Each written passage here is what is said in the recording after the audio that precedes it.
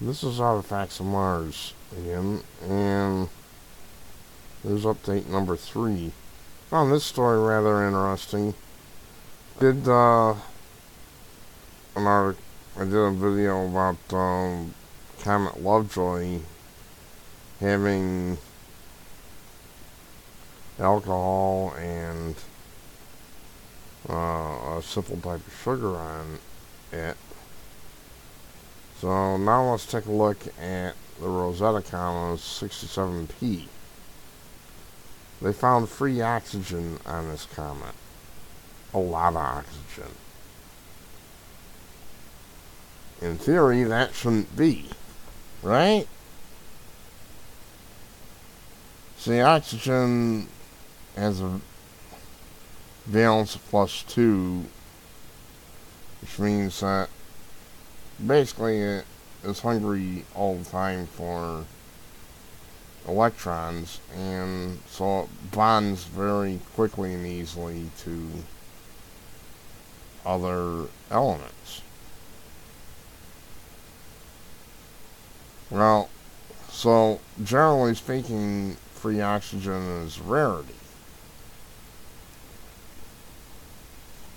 At least it's supposed to be. So how is it this comet has a lot of free oxygen on it?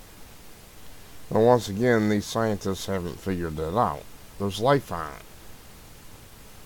Probably some sort of cyanobacteria or something like that.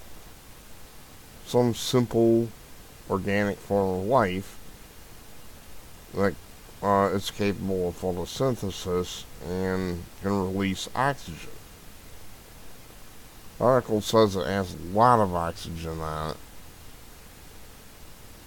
You know, this is similar in many respects to uh, the Comet Lovejoy situation.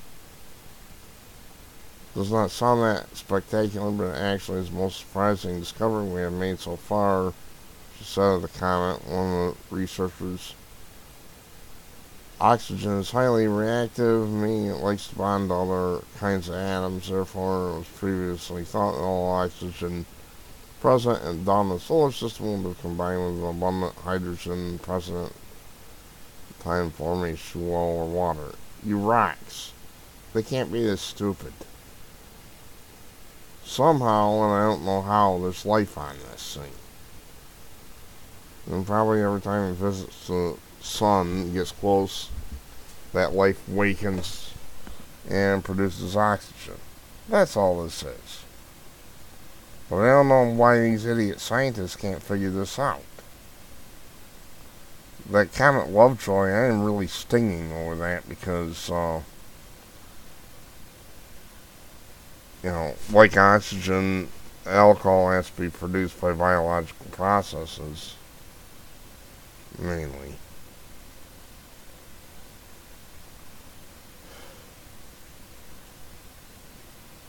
Like all objects in the solar system, Comet 67P has been hit with this high energy radiation for billions of years, but it's unlikely radiation lysis can explain all uh, the oxygen in the comet.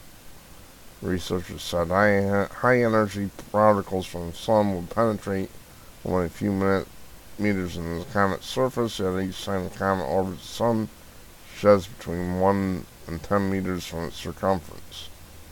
It's some kind of bacteria, more than likely, I would say. But these idiot scientists will never figure it out, and they'll never, or they'll never admit it. I don't know which. It's just beyond belief. It's called life, people. Life, L-I-F-E. Sheesh.